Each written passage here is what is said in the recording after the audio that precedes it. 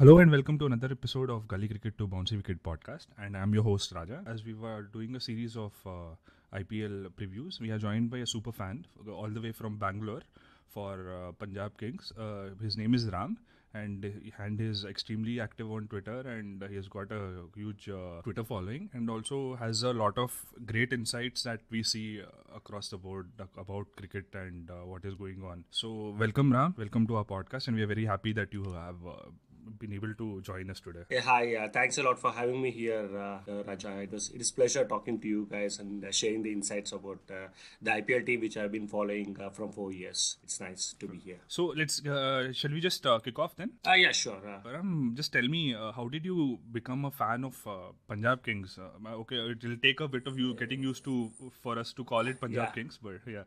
How yeah, did you become yeah, a fan of this? Uh, yeah, uh, right from the beginning, like from 2008, I was a, I was an RCB fan uh, just for Rahul Dravid. Of course, it was my city. Uh, it is my city still. Uh, 2008 to 10, I was a hardcore RCB fan. Since Rahul Dravid left uh, Bangalore and moved to RCB and moved to Rajasthan. I followed Rajasthan for three years then. And from 2014, there was no icon Karnataka player in the. I mean, Rahul. I mean, uh, KL Rahul and Karun Nair were just coming off age then. They were not superstars than what are they are now. Be Mayank Agarwal or KL Rahul, but still, you know, 20, 21 year olds who are trying to make their mark at this level.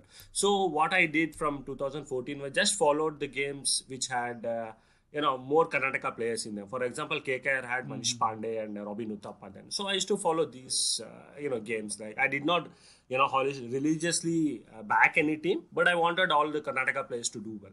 From then, uh, 2018, uh, I think it was a uh, kick. I mean, Kings 11 Punjab was basically a Kings 11 Karnataka with uh, Karun, Rahul, Mayank, and later, you know, Anil Kumble taking over as a coach. So it became my team from then. And from 2018, I've been fan of uh, Punjab and the fact that now Karun, I mean KL Rahul is the captain.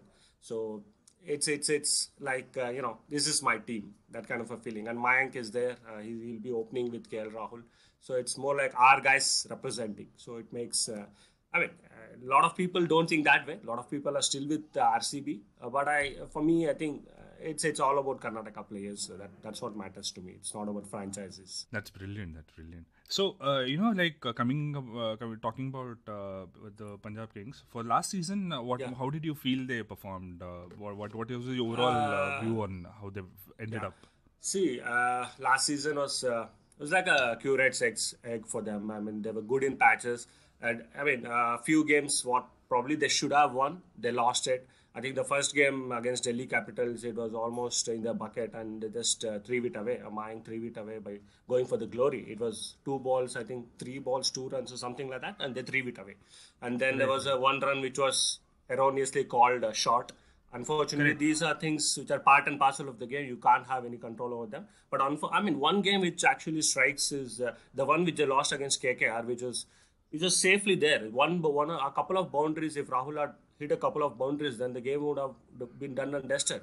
But they somehow, you know, managed to, you know, just just mess it up, mess, mess up the chase. I think I remember Prabh Simran Singh coming ahead of uh, Maxwell and others, and yeah, they just messed it up. I mean, they were not chasing a huge one, 140 odd. They were chasing, I guess, and they messed it up in the last three or four overs. So these kind of games, you know, and they just lost. I mean, two or three games which they should have comfortably won, they lost it. And finally, uh, till then, I think after uh, seven games, they were down and out, but still they came back with four or five victories on the trot, and they were in the hunt for the playoffs till the 14th game, which they played against the CSK.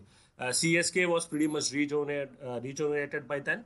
They, I mean, they chased on what 160, 150 odd uh, with ease. Correct. Had they won one game, they would have been in the playoffs. So once you're in the playoffs, it's all about uh, three good games, or three good games, or two good games. You can you can win the title. So unfortunately, for uh, Punjab, uh, they did not have a they did not stick to a team to be very honest with you i think the think tank has a lot of blame uh, to take for this you pick someone like uh, krishnappa gautam from rr you trade him you know his ability. I mean, Anil Kumble would be the you know best person to know about his ability coming from Karnataka. He's, he's seen uh, Krishnappa Gautam from his under 19 days. He's a very good hitter. He's a very good off spinner who's doing well, exceedingly well for Karnataka for almost like five to six years. I mean, the fact that he went for nine crores this season says a lot of Correct. his, you know, the belief what people have in his ability. So you get him one bad game, you drop him, you pick him again after six games, and he's uh, you know taken to the cleaners by uh, Pollard and uh, I think Hardik Pandya, and he never plays a game. And uh, that is that was out of you know that is that was beyond me to be very honest. You know he's a match winner. That is why you traded him and still do not want to play him. And these kind of things, you know, a lot of mistakes they did in the middle order. And they started off with Karun. Karun was nowhere uh, close to what he was in the you know past. He was like had awful two awful seasons with Karnataka at the first class level, but still he was in the playing eleven for the first three or four games.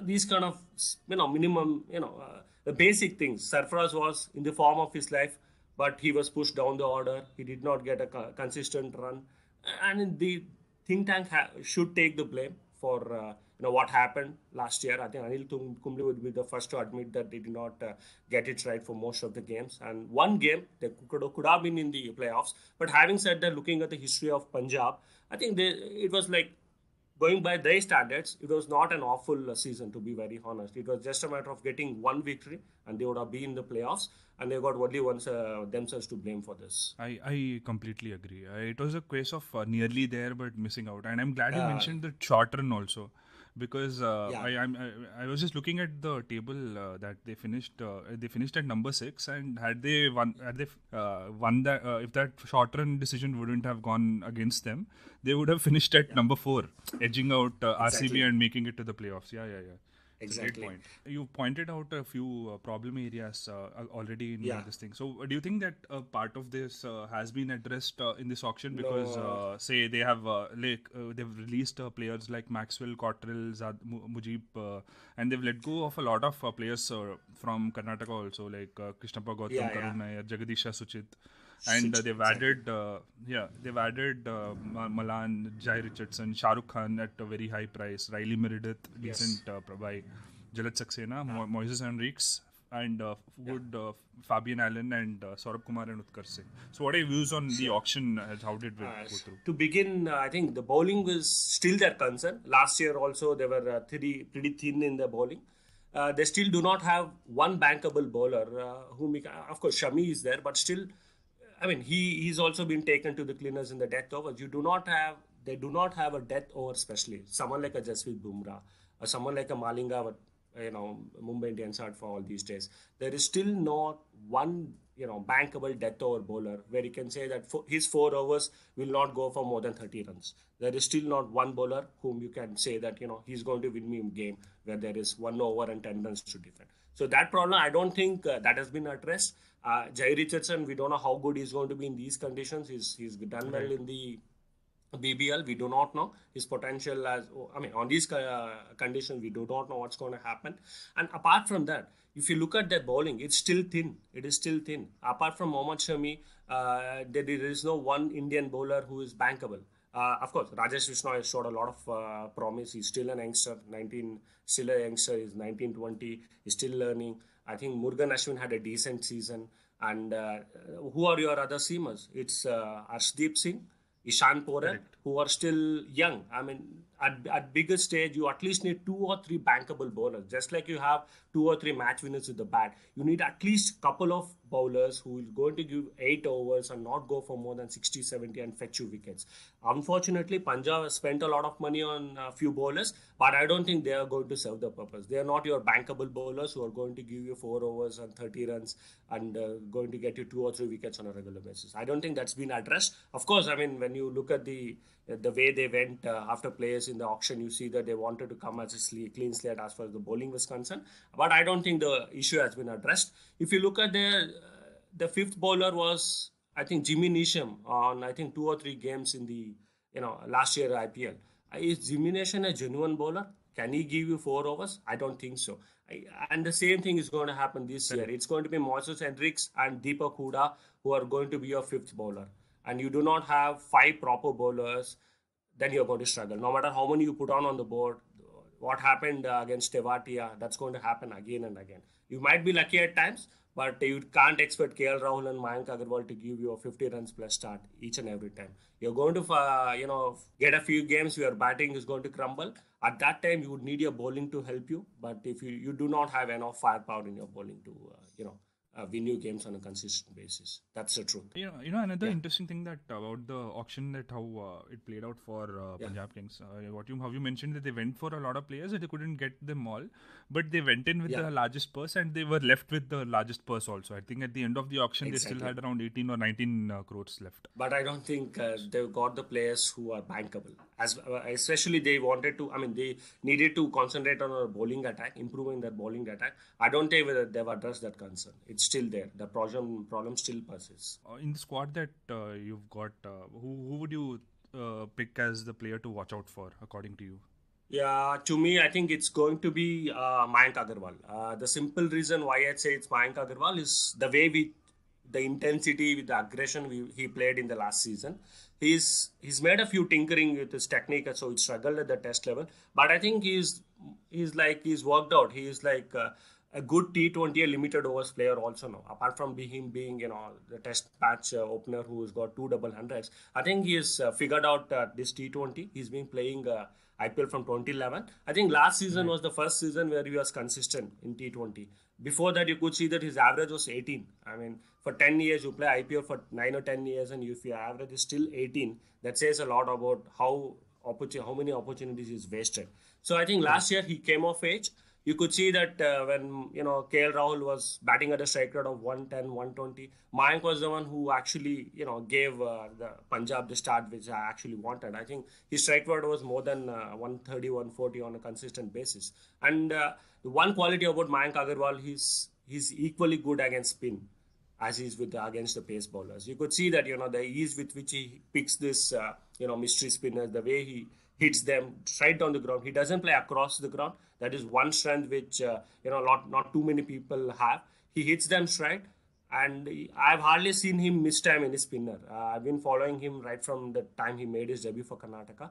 But against spin, he's he's probably the best. I would rate him uh, above KL Rahul and Karun Nair when it comes to you know attacking the spinners. He's that kind of a player, and if if he becomes a bit circumspect in the middle overs and you know play play accordingly. I think he's going to be a fantastic player to watch out for. I, I, I somehow feel that he's going to have a 500 run plus season because the fact that he's he's been warming the bench for three to four months, he, he hasn't had enough game time. He's he's very determined now. He has to come back and show his worth. He's lost his place in the limited over side from in the Indian team. I think this is the nice opportunity for him to get back to this Indian scene. There's so much competition in Indian limited over side. I think this is a great opportunity for Mayank. I am sure that he's going to you know encash this opportunity. Opening the innings with KL Rahul, that's the best thing that can happen to him. I, I agree. I agree. It's a, I think he'll be very hungry to prove himself and get back into the reckoning exactly. again. Yeah, yeah, yeah. Uh, how, what about picks like uh, you know the David Malan, uh, David Malan? Are you, are you yeah. Uh, excited David for? Malan, yeah, yeah. Of course, I mean he's probably you know number one uh, T20 batsman at the moment. Yeah. Uh, see, uh, four games against India he struggled, but he still came to the party in the decider and you know won the game for England. He has that potential.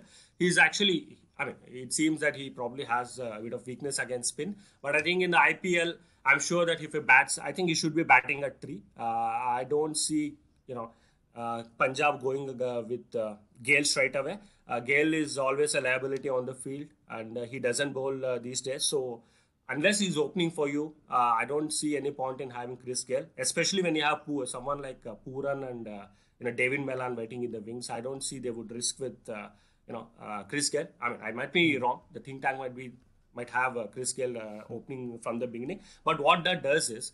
Uh, KL Rahul and uh, Mayank Agarwal may not open if Chris Gayle in this in this side. And playing Chris Gayle at number three, I don't feel that's the right approach because you want him to use the you know uh, field restrictions uh, to to the fullest. So I feel that uh, David Malan should be batting at three. He, I mean, they gone after him. They got him at a bargain price. The word number one, apparently the word number one T20 batsman. They got the, got right. him at the bargain price. He is in the form of his life. That's what I believe. Because apart from the few failures what he had in India, he had been a fantastic. Uh, he had a fantastic year, year and a half before this. So it's a you know great to have uh, him in the team. I think he should be given uh, you know a consistent run. At least three or four games to see how he goes. And uh, if the top order is firing, I don't think there will be any issue. And uh, of course, they have Nicholas Pooran in the middle, so that is a solid middle order. That's a brilliant point. Actually, what uh, I was going through the schedule that uh, Punjab Kings had this time around, and uh, uh, they're ending their season uh, at by, by playing five matches at the Chinnaswamy in Bangalore. So you know the idea that such powerful players, you know, ha- having uh, Chinnaswamy and at the way to finish, I think it will be a good advantage. Say, imagine Gayle coming back to, you know, even if he gets a few opportunities right at the end coming back to Chinnaswamy, yeah. it will be it will be amazing. Knowledge would help. Anil Kumble, the coach, absolutely Tarun, uh, correct. KL Rahul and Mayank Agarwal, and these guys are there, and I think there are a few people in the support staff as well. So I think the local correct, knowledge will help, but. Uh, is there going to be any resistance to the spinners? I'm not sure. Short boundaries, it depends on whom you play against the opposition you play. I mean, they too, uh, the opposition also might have a like uh, same uh, firepower in the batting. So it, I mean, this is the problem, you know. When you play in Bangalore, it's about your batting versus our batting. Who hits the farthest? They're going to win. I mean, the bowling doesn't come into picture. That is the problem. What happens when you have true pitches? So I think uh, you know Punjab have all their bases covered as far as batting is concerned. Uh, I mean, right. that's what your bowling might not win you games when your batting, uh, you know, lets you down. That is one problem, which is I'm sure it's going to hurt them this season as well. And uh, I, am hoping that I'm proven wrong, but uh, Moises Henriques is not a, an all-rounder who is going to give you four overs. At best, he can give you a couple of overs. When there is some assistant in the pitch, he can give you four overs. He what balls dibbly dobblies of 120, 125. So when the pitch is holding up, he's a great you know weapon to have. But on a true pitch, he's going to take uh, be taken to the cleaners. And uh, you got to play him because you don't have any other genuine all-rounder who can uh, you know bat and bowl to you uh, for you.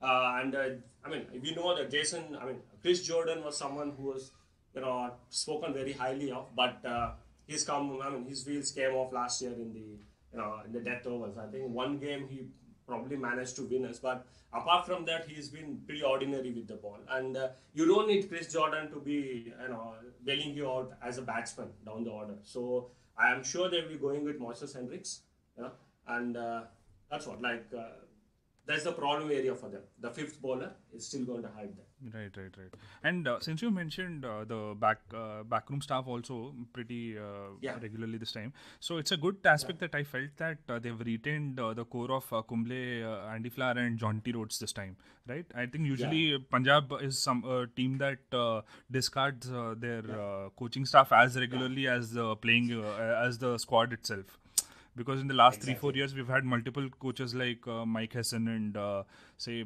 uh, yeah. Brad Hodge also Sehwag, for a bit and Sehwag, yeah yeah, yeah. I think uh, build, uh, retaining this core is also an important part too if you want to build yeah. a culture. Exactly, so and that is where they've been found wanting. That's been their uh, they've been found wanting for more than a decade now. Like to, this is what the 14th IPL. In 13 years, they have probably made to the playoffs only twice, twice or thrice. I think twice, I guess.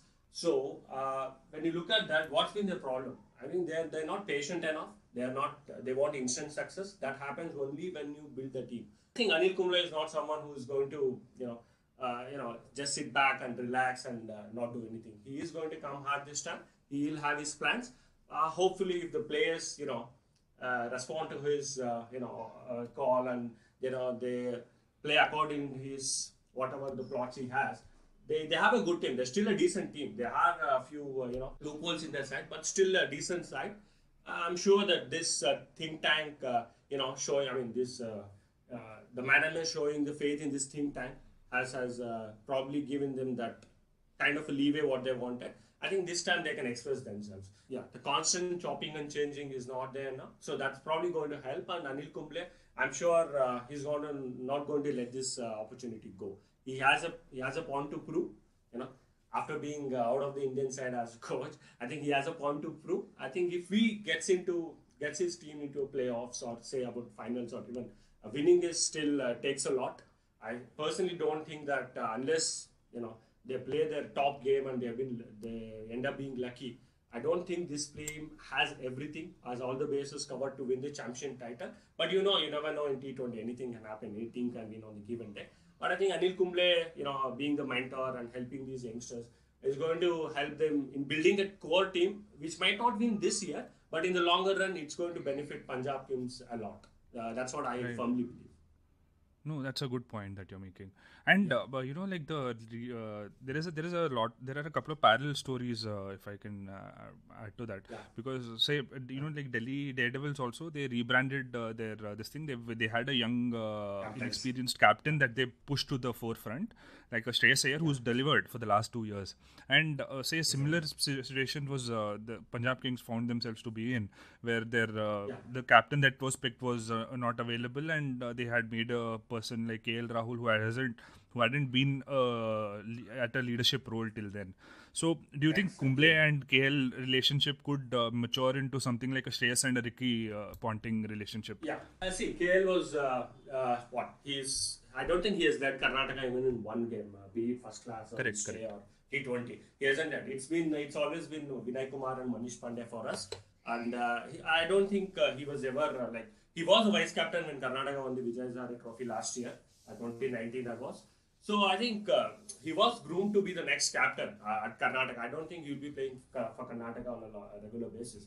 But having said that, having Anil Kumble helps helps these youngsters a lot. I mean, they they can hone their captaincy skills under Anil Kumble.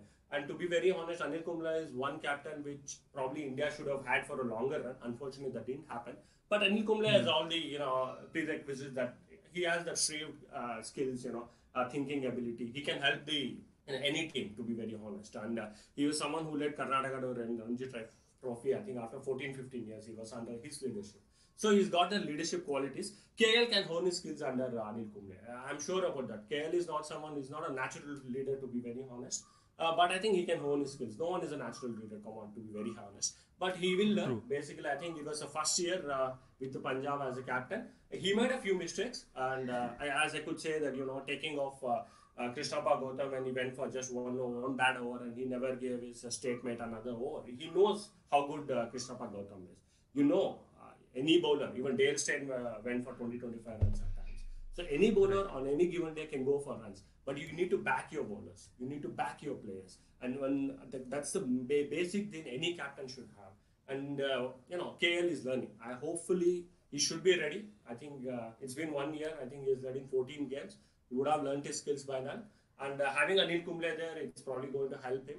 And uh, let's see. I think Mayank. Uh, I don't think Mayank is uh, considered as a leader uh, at any level. So uh, they I don't think they have named, uh, named any vice captain as such in KL's absence. So there is uh, still a void there. Who next on this stuff? So they're seeing KL as a long-term investment, probably a captain for uh, four or five years, and have a you know KL brand, just like RCB has uh, you know Virat Kohli brand. The fact that he's regular at the Indian uh, level, so that's the brand they want. And uh, KL, of course, he'll learn. I mean. Uh, That's great. That's great. I, I we hope that uh, happens this time around.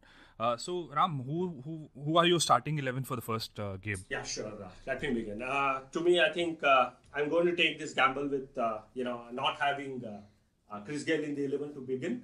I don't know how good he is now. He might be rusty. He's not playing uh, competitive cricket. So I'll start with KL Rahul and Mayank Agarwal opening. At three, I will have David Malan. At four, I will have Pooran. At five, Hooda. Uh, Hooda had a decent season last year. So then my number six would be Moises Henriques, who could give you a few overs and also, you know, is is very good down the order. And Shah Rukh Khan will be my number seven. Now uh, this is where the problem area for the Punjab starts. Now Jai Richardson as a bowler, we don't know how good he will be in these conditions. Uh, Rajesh Vishnu had a decent season uh, last season, so he'll be by uh, number nine. And Murugan Ashwin at number 10 and Shami at number 11. And now, if you look at this playing 11, uh, there are four frontline bowlers Jhye Richardson, Bishnoi, Ashwin, and Shami. And uh, Right. your fifth bowler, your uh, you know your last four overs will be uh, like uh, you know okay, that should be bowled uh, between Henriques and uh, probably Deepak Hooda, who was a bit of off spin. Now, no matter how many permutation and combination you make this team, the fifth bowling option still remains like pretty weak. You you get any player in the eleven, you take out Moises Henriques, you get another player. It, it is actually spoiling their balance. If they had one player in the top five or six who could who was decent enough, you know, at least a part timer, someone like a Suresh Raina or you know someone like that, it would have helped the team balance a bit. KL Rahul doesn't bowl, Mayank doesn't bowl, Malan doesn't bowl, Pooran doesn't bowl. So this is the problem area. This is this is one area which I'm really concerned about Punjab. you know, most of the games when you have uh, three overs and 50 runs to defend, 40 runs to defend, you might lose if you don't have bankable bowlers. That is where they've been found wanting. I'm not sure how good uh, Shami will be this season. I think he's if he comes up, he's an international bowler, a test bowler. If he comes off well, uh, it will be well and good. Otherwise, uh, again, I mean, they'll have to fall back to Arshdeep Singh or uh, Ishan Porel. I'll be interested to see how Ishan Porel goes. He should be getting a few games. He has space. So apart from that, there is not really much promise in the uh, you know in the bench strength as well. I think Shah Rukh Khan probably is their answer. He has all the shots. I mean, he is uh, a bit uh, you know unconventional, uh, but he knows uh, to pick those gaps and play these audacious shots. You know, which normally you don't see top order batsmen playing, but he plays those, and that's the reason he's been picked. And uh, you know, I mean, you need these kind of players. You know, who are those X factors. You don't know what to expect from them. Uh, suddenly, you uh, they might play a cheeky shot and get out at times. At, at times, that cheeky shot might fetch you a victory.